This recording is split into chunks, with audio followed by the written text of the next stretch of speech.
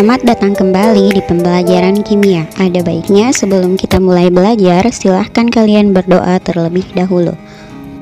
Setelah menyelesaikan materi ini, kalian diharapkan mampu mendeskripsikan pengertian jari-jari atom, energi ionisasi, afinitas elektron, keelektronegatifan, kereaktifan unsur, dan lain-lain. Atom merupakan bagian terkecil dari unsur, sehingga dapat disimpulkan bahwa sifat suatu unsur ditentukan oleh keadaan dari atom-atom penyusun unsur tersebut. Atom tersusun dari inti atom, proton dan neutron yang dikelilingi oleh elektron.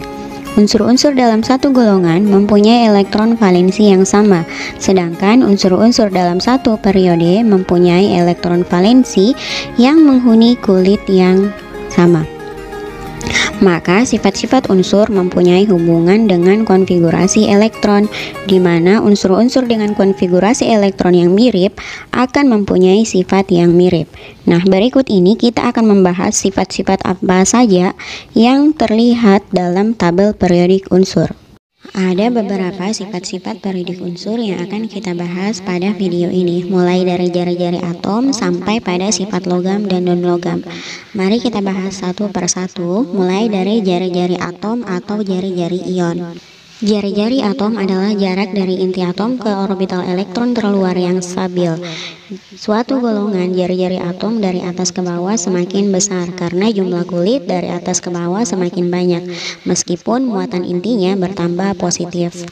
Sedangkan dalam satu periode dari kiri ke kanan, jari-jari akan semakin pendek sekalipun jumlah kulitnya sama, tetapi banyaknya proton bertambah sehingga elektron semakin tertarik ke arah inti.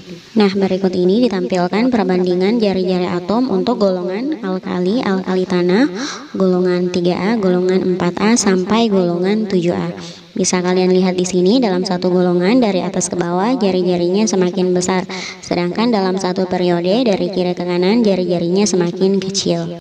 Pada tabel ini kalian bisa melihat perbandingan jari-jari dari setiap periode mulai dari periode 1, periode 2, periode 3, dan periode 4. Pembahasan selanjutnya adalah jari-jari ion. Jari-jari ion memiliki kecenderungan sama seperti jari-jari atom. Ion positif lebih kecil daripada atom. Untuk unsur golongan utama, elektron pada kulit terluar terlepas ion bermuatan positif dapat juga mengikat elektron yang tersisa lebih kuat ke inti atom sehingga ukurannya akan mengecil. Hal ini berbeda dengan anion atau ion negatif. Ion negatif lebih besar dari atom netralnya. Selain jari-jari atom dan jari-jari ion juga terdapat jari-jari kovalen. Ketika dua atom sejenis terikat melalui ikatan tunggal, panjang satu setengah ikatannya disebut dengan jari-jari kovalen. Khusus untuk golongan transisi, ukurannya hampir sama dan ditentukan oleh elektron 4s. Orbital 4s memiliki energi yang lebih besar dari 3d, namun berkebalikan dalam konfigurasi.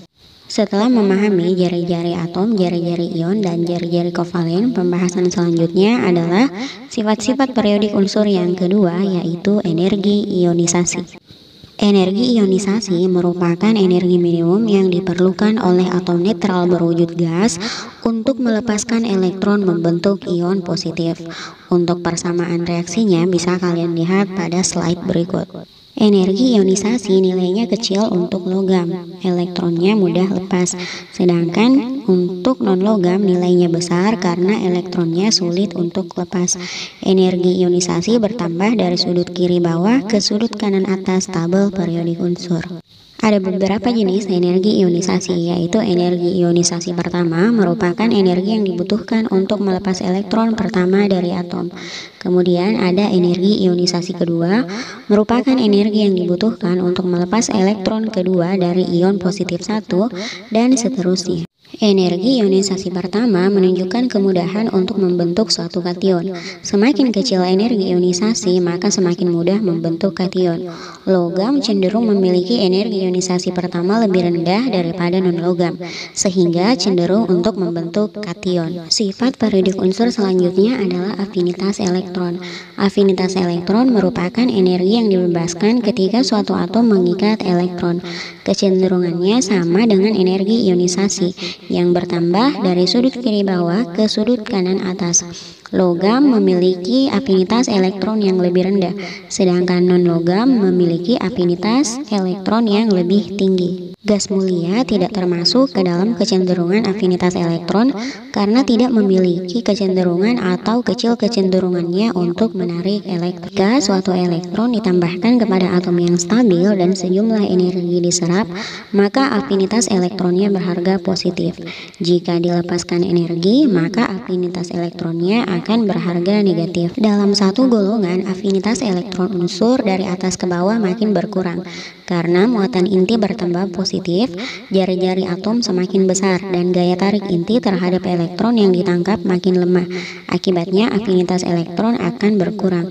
Sedangkan dalam satu periode afinitas elektron unsur dari kiri ke kanan cenderung bertambah karena muatan inti bertambah positif sedangkan jumlah kulit tetap sehingga menyebabkan gaya tarik inti terhadap elektron yang ditangkap semakin kuat. Sifat periodik selanjutnya adalah keelektronegatifan yang merupakan bilangan yang menyatakan kecenderungan atau kemampuan atom untuk menarik elektron dalam suatu ikatan kimia membentuk ion negatif. Elektronegatifan pertama kali diajukan oleh Linus Pauling pada tahun 1932.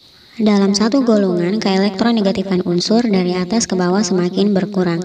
Karena jumlah muatan inti bertambah positif, jumlah kulit bertambah, maka kemampuan inti untuk menarik elektron menjadi lemah. Akibatnya, keelektronegatifan unsur semakin lemah.